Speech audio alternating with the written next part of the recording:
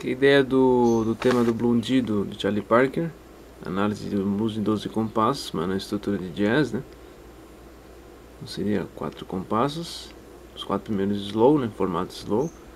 Aí tem a diferença aqui, né? O quarto grau na mudança do O e o outro compasso seria repetição. Vem um menor, depois um normal, volta, tem substituição, substitui, substitui. Aí faz um 2, 5 da volta na turnaround, né? Seria Mi, no caso, substituído pelo Dó menor. E o Fá.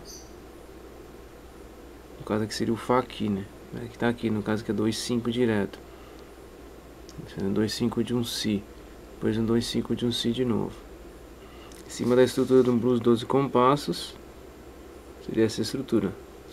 E a verticalização dos tons usados, né? Isso em cima da, në brun gjithë dhe qani Parker,